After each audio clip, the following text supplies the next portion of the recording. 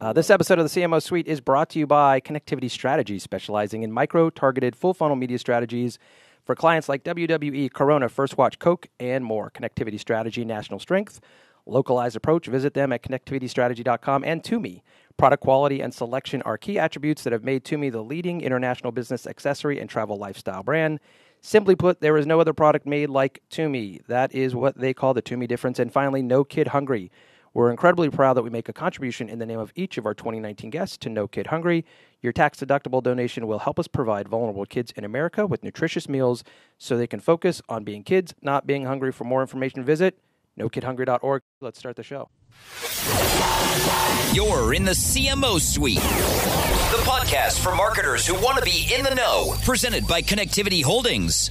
Hello and welcome to the start of the show. I am your host, Sean Halter. Welcome to the CMO Suite. And with me producing and co hosting today is my great friend, Holly Paper. I'm super proud to uh, introduce our guest on the show, a global product creative for Netflix. It's Karl Gibson. Hi, Karl. Hi, thank you for having me. Karl, uh, so talk to us. First of all, thanks for, for joining us on the show. Thank you. How far are you from he- from here, uh, observatory? Is this a close drive for you, a far drive for you? How, how did it feel? 25 minutes. And so it's funny. I live in Florida most of the time. I spend some of my time uh, in New York and, and out here in LA a little bit. But I remember one time when I first came here for some work, and uh, my wife asked me how the traffic was, and I literally pulled up the Waze app, and it wasn't one red line. E- everything was red. And so, how long have you have you lived here in Los Angeles? Uh, 21 years. Did you ever do radio? Because, dear Lord, did, can you that voice? Oh no, it's it's it's beautiful. Oh, thank you. No. Re- did you do voiceover work? Anything like that ever in no, the I past? was an actor. You were an actor. Okay, great. Well, you've got a pretty insane voice. If I only had that voice, Holly, imagine the things I could have done if I had Karl's voice. Oh, Oh, thank you. Uh, no, no sweat, man. Listen, so you grew up. I'm sorry. Did you say you grew up here? I grew up on the East Coast. Okay. Uh, so I grew up in Maryland, from DC. Grew Yeah. up in Maryland. Then my mom worked for AC Nielsen, which was in Florida. So I grew up in Florida for high school. What part of Florida? Uh, Clearwater, Oh, so uh, that's funny. Dunedin, Yeah. Oldsmar. So our offices, the the main office that I have where my family lives because they refuse to move, is literally in Tampa. We have a house uh, right over across the bridge in St. Pete. So we're in Clearwater all the time. We've got clients all over Clearwater. That's Okay. funny. Isn't that a small world when you kind of think about Yes, it? Yes, it is. So you went to school there. Yes. And then uh, what what took you from there either out to the West Coast? I moved back. We moved back to the East Coast. Okay. And then I went to Chicago for college. Was your mom like, I'm going to get the hell out of Florida. It's too hot here. It, this is Clearwater. This is not. This Uh, is not everything I thought it would be. We were in Oldsmar at the time, Yeah. and I think it was just um, It's thusly named. I'll just say that Oldsmar is thus. No, nothing wrong with Oldsmar. Right. But uh, yeah. So then you moved. Yeah, we moved back to Washington D.C. My father worked for the Library of Congress. Um, a lot of my my grandfather was the U.S. Weather Bureau man, so when you called for the weather, he did that. Really? Yeah, so I grew up around politics all my life, and I just wanted to go somewhere where I could be creative and perform.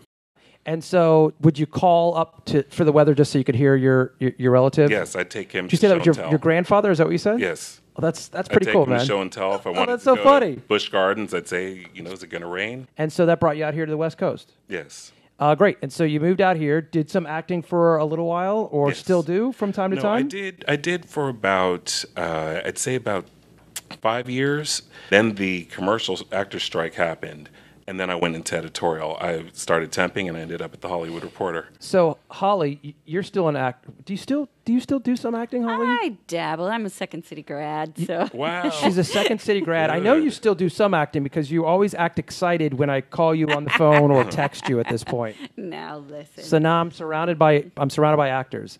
So that's that's an interesting trajectory. So you so the actor strike almost pushed you into another industry to some extent. It did because I had to figure out something else to do. Um, I didn't want to cross. Of course, I wasn't going to cross any lines, and I figured, why not go to the Hollywood Reporter? I'd been reading it and Variety for for years, and I think acting was so passive. I just didn't want to be passive anymore. I wanted to be part of something that was happening. So, working at the Hollywood Reporter It was like having an aerial view of the whole entire Landscape, really. industry. Yeah, as opposed to working one day at Paramount or two days at Universal. So when you were working for the Hollywood Reporter, what were you doing for them? Were you writing for them? Obviously, I'm assuming, and were you writing? I would write as an about town, you know, about Okay. town coverage. I did wedding and birth announcements, calendar of events. Um, sometimes I would fill in, but mostly I was an editorial business analyst. And then where? How long were you there? I was there for eight years. Oh my gosh, you were there a long time. Yeah. So again, as we think about this industry and all of the changes that are happening in it, I think one thing that I would take away, even just from that early part of your career or part of that story, is sometimes you just have to create adaptability, right? Right. You know, we all want to get into this business, whatever part of this business is, whether it's uh, being a chief marketing officer, or a VP of, of global for a brand, or or everybody that works underneath them. You know, uh, the the people that listen to this show um, are they touch the industry to some extent. More so if we're out in LA, people who touch Right. the you know the entertainment part of it, right? I think a takeaway for me from that story is just that, which is if something happens, if a change happens, and in this case it was a strike, um, how do you provide adaptability around your environment but still be able to be involved in that environment? Right. And and for me it was to just learn and I think that's the second thing. It wasn't like, "Oh, here's this job that's going to save me." I was an assistant first. By the time that I started getting in the business, it was different. You know, here's Martin Scorsese, but I'm not going before him to audition for Gangs of New York.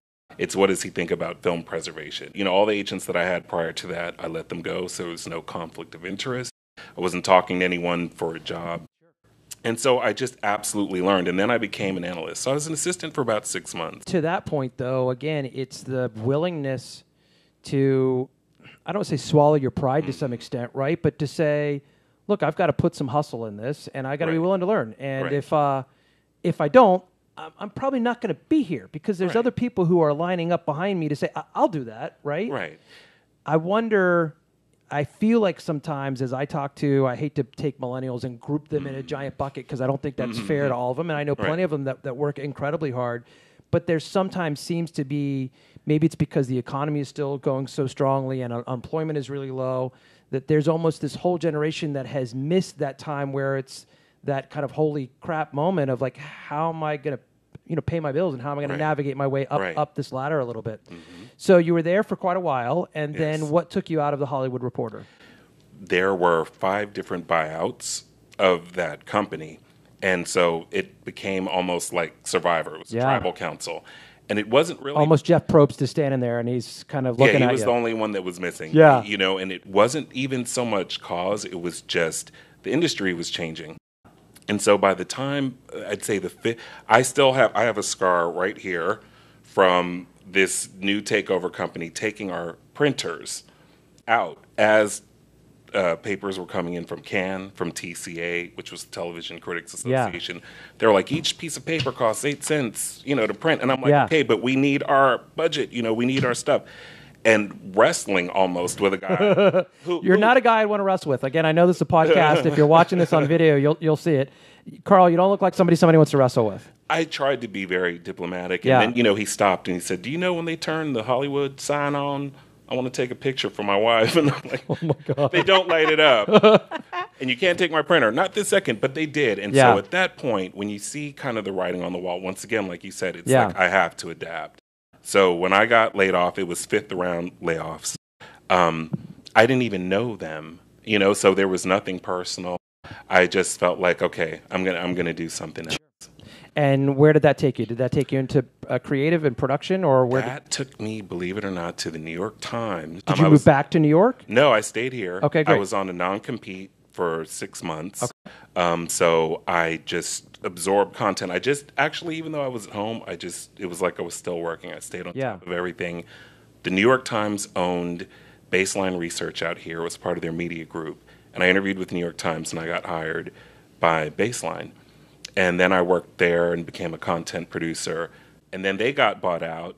And then it was a startup. And so I'd say, really, for the last eight years is where I got into the startup world, which is where I was covering Netflix. It started, Facebook as it started, um, all these new platforms that came in. And all covering content. Yes. And so, when you say that you're covering content, are you writing content for them, or are you writing articles about what content is being developed? T- tell us about that, because it almost seems like the position that you've been in is a precursor for what everything is about now, which is everything's about content. Right. You And- seem to be in that ear earlier on i than many people. I was, and and thank goodness I had the managing editor that hired me Yeah. had worked in television, so again he had had to adapt to. So what we did was we supplied reports to the industry of who's who, who has deals, um, who has the television deals, who has these first look deals. And when I got there, the writer's strike was over. So I literally cleared out about 2,000 deals that will never happen again That's interesting. because the strike had happened. And Yeah. so, you know, with force majeure, they were gone. And that was it. So, uh, talk to us because again, uh, first of all, thank you for coming on and joining us for the show. We we usually keep these anywhere from around fifteen to twenty minutes so that we can pull a couple pieces of nugget, you know, nuggets away from it. Uh, we we like to say that sometimes because that's typically what somebody's uh, drive is. Clearly not if you're in Los Angeles. But um, fast forward a little bit, and now talk to us just a little bit about not necessarily the work that you're doing for Netflix, but just talk to us about the environment that you're in and the fact that they seem to be such leaders in, in content in, in, in all forms and capacities. So talk to us about the kind of work that you're doing uh, for them, whatever parts of that that you're allowed to kind of talk about. Well, what I'm doing for them is I'm, I'm working in licensed content, and it's prior to that I was at Warner Brothers. So after Baseline Research, I went to Warner Brothers. Um, I was there for a year and a half and putting movies together. Again, adapting. I didn't know how, but from standard def to the language to everything. And then what happened was uh, I was on a contract and my contract wasn't going to be renewed. It had been like 18 months just because the AT&T sale was coming. And so I just wanted to participate. Again, I didn't want to be passive. I started interviewing. I talked to Netflix. Two days later, I was a contractor and started. They wanted to, they wanted someone who knew what I knew how to do, and I'm glad to join their team, even as a contractor. And so again, not to ask specifics Yeah, no. about about projects that you're working Sure. on with Netflix, but tell us uh, just a tiny bit more in the in the time that we've got left about that kind of work. And so if, if if you're hired there and you're there in essence as a as a content provider or producer or, or, or product creative, what's your day to day look like in essence uh, for them? The, my day to day work is looking at licensed content that's going to go live all over the world. Okay. And so it's just still learning, but that's what I do. So It's- and it's- licensed content, give me an example of that. So is that like Bird Box has been produced and somebody's trying to figure out that No, they want to sell a, it? that would be an original. So Bird Box is an original, but it would be say The Bridge, okay. um, or it would be foreign series, or it would be series from the BBC. Gotcha. And then under the guidelines I'm given, um, you know, just making sure that those are ready to go, Ready to go. when their window opens. Great. And so, uh, in that capacity, are you then also navigating uh, the Amazons of the world that might also be looking at some of that content, or is it more you guys already have the content and you're just trying to figure out where to They, put, where yeah, to put it all? con- everyone has their own Yeah. content queue, and Yeah. so that's that's where I'm at. So Amazon and the other companies don't. and so.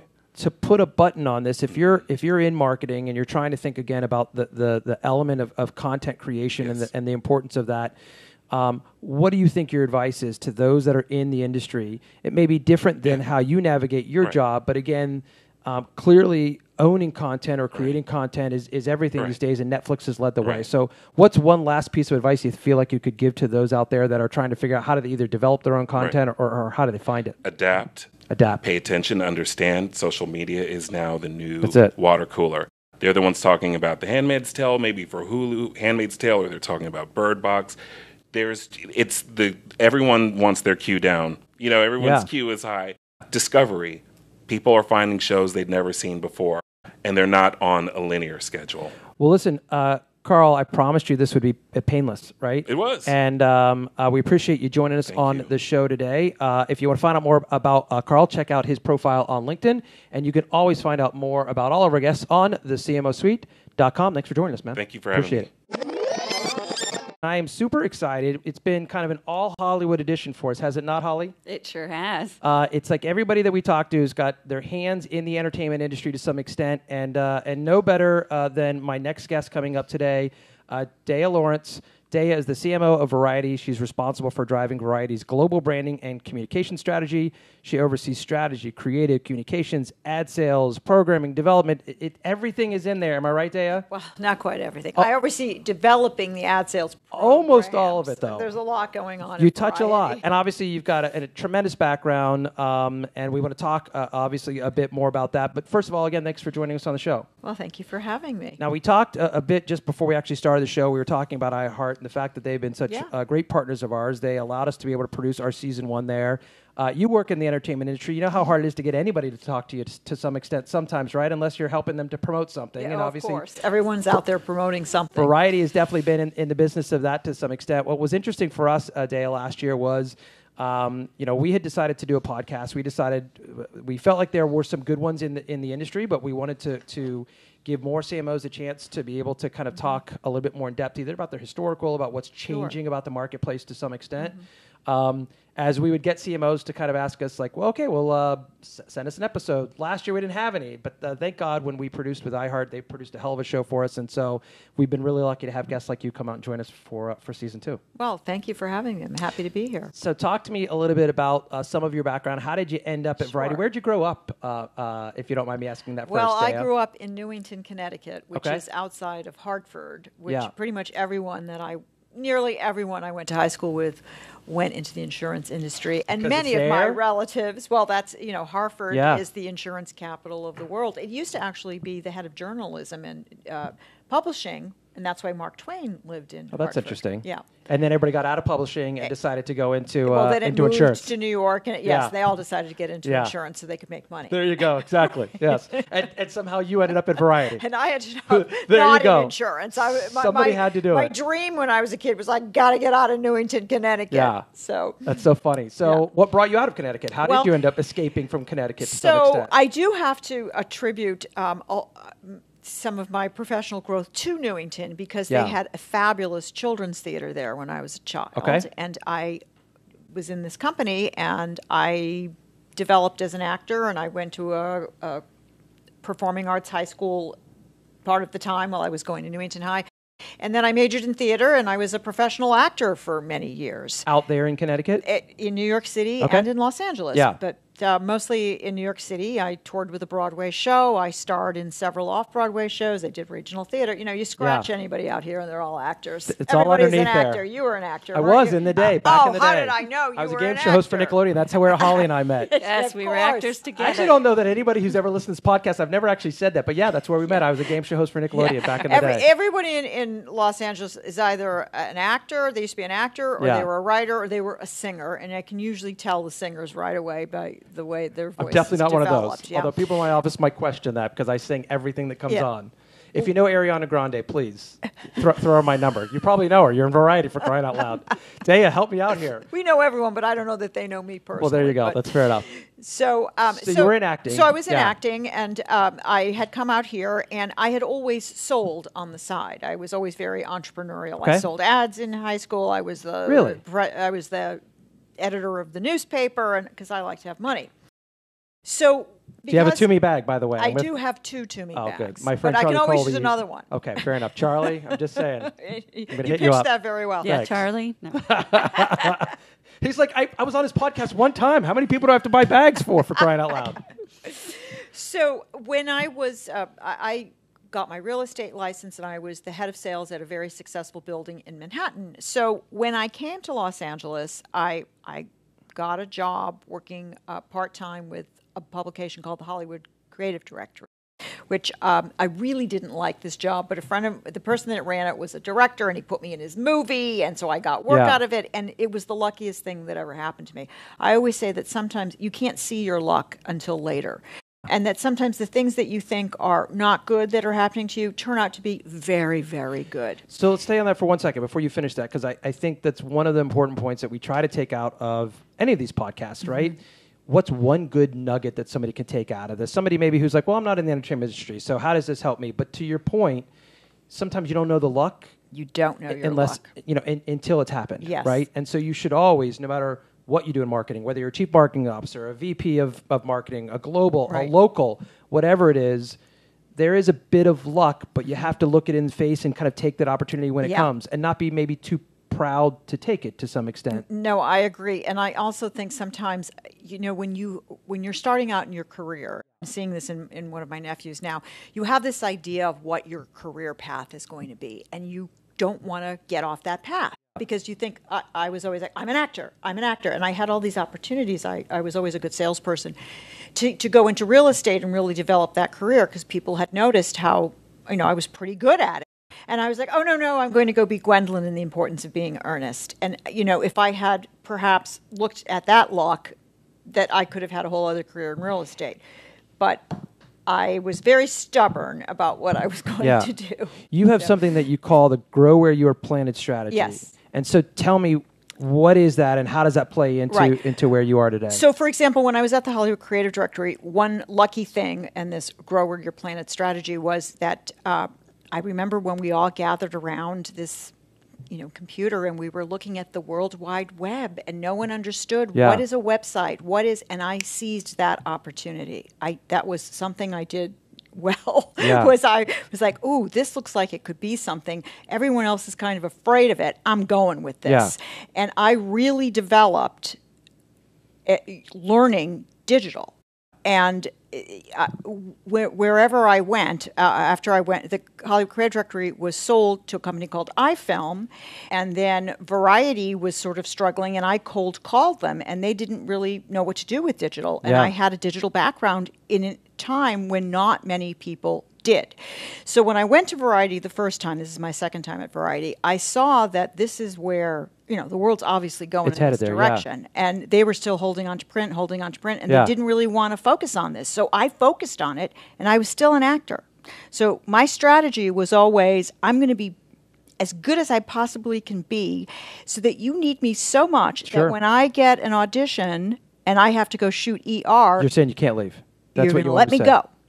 You're going to let me go shoot it and come back. You're going to let me do whatever I want. Ah, that's interesting. Yeah. So uh, that was really what motivated me. Yeah. I have to be so smart, so, so, valuable good that I can get flexibility in the I can have navigation of that I want. Right. Uh, to go back to the web for just a second, it's funny again. Uh, I probably don't look this old, Holly. You actually probably know how old I, I am, but it of course is amazing that my kids have no concept of that. I remember only because we're talking to you and you're the CMO for Variety, and again, we appreciate you coming out and being on the show. Uh, I, I was so naive that I bought the URL movieplaces.com. I owned that URL for a long time, and I was calling movie studios to see if they would actually just provide me all of their uh, movie clips uh, that I could put on this movieplaces.com and get movie theaters to, to put their showtimes on there.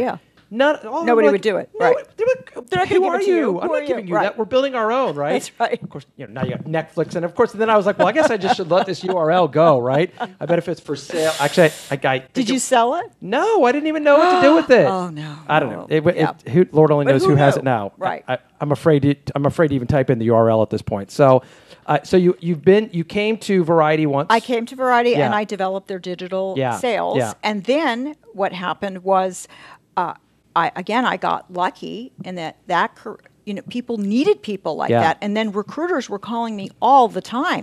And I was very happy at Variety, but then I saw that Variety's business was not quite going in that direction. So I took this job running the Western region for PointRoll, which is a rich media company. Yep. And I stayed there for five years. It was an amazing job. Uh, I mean, we we killed it, and we I really learned a whole 360 in digital because we work with creative agencies and ad agencies and And so, as a CMO today, that's Yes. that's the key, right? The key is you've got to understand.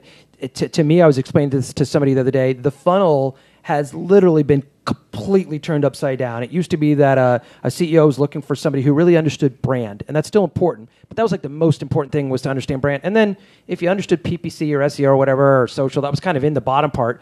But now it seems like it's turned itself Oh, upside I- down. I Everybody's got a agree. direct to consumer strategy. You better understand search or social. You better understand what programmatic is Right. or behavioral, contextual, and brand is still important, but it's it's almost like it's the bottom part now Yeah. at this point.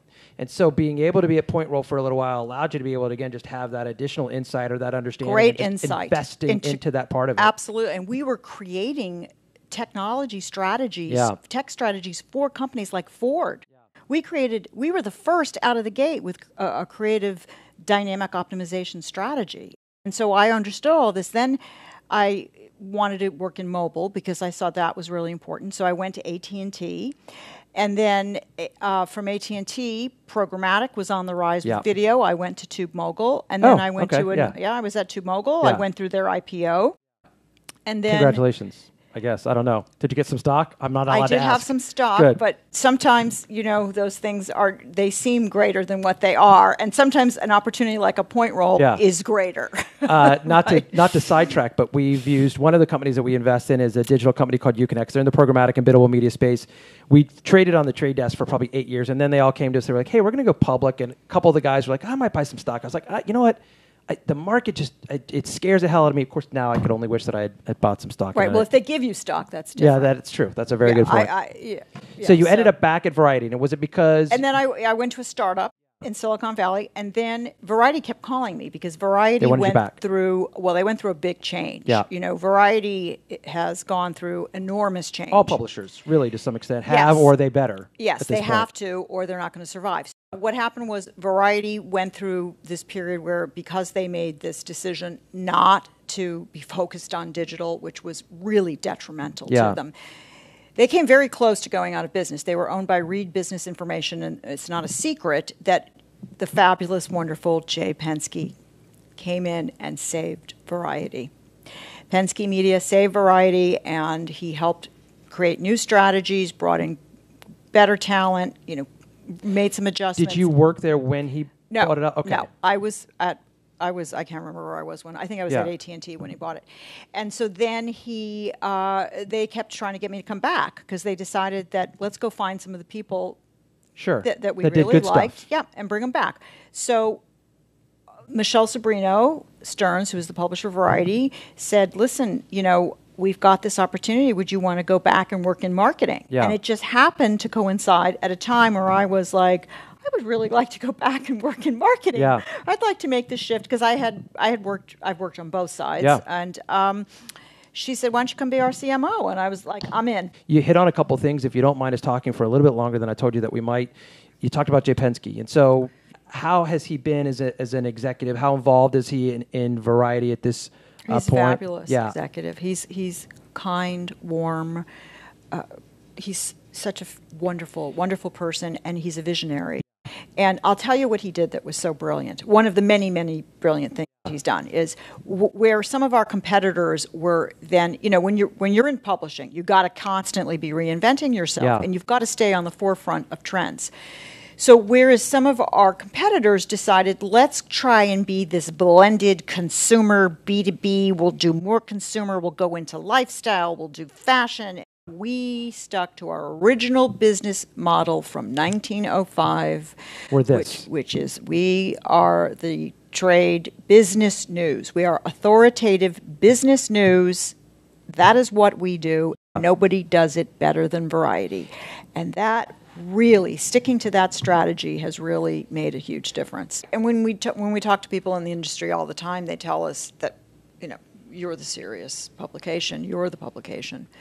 So and that has helped us tremendously. It's helped us get better market share. It's helped us. It's helped us grow our business. Yes. Yeah. Yes. I can't live without Variety Insight. I'll just say I'm a producer. Oh, and Friday Insight. Yeah, it's Oh, well, I'll very, tell Mark Hopick that you very said that. helpful and important. Yeah.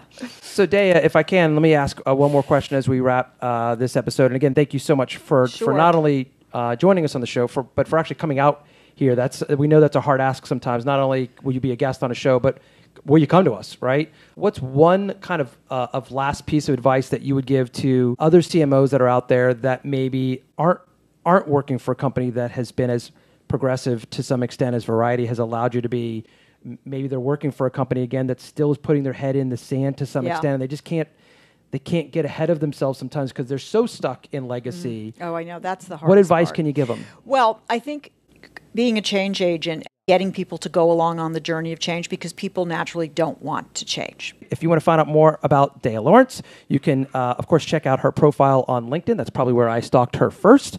Um, and you can uh, visit us, of course, on the CMOsuite.com to find out more about her as well as this episode itself. Thank you for joining us, Holly, on this episode of the show. Thanks for hanging out in the CMO Suite. The podcast for marketers who want to be in the know. Presented by Connectivity Holdings. You're a C level manager. You shouldn't have to know the difference between behavioral or contextual targeting, but your agency should. YouConnex provides brands and biddable teams direct access to platforms like The Trade Desk, Google, Amazon, Facebook, OTT, and more. Their US based traders can train your in house team or provide complete transparency with no minimums and CPM based service pricing for true transparency. Something MightyHive, The Trade Desk, and Centro simply don't offer. Tired of being the smartest one in the room? Reach out to YouConnex today for a free demo. YouConnex, the world's leader in true transparent biddable media.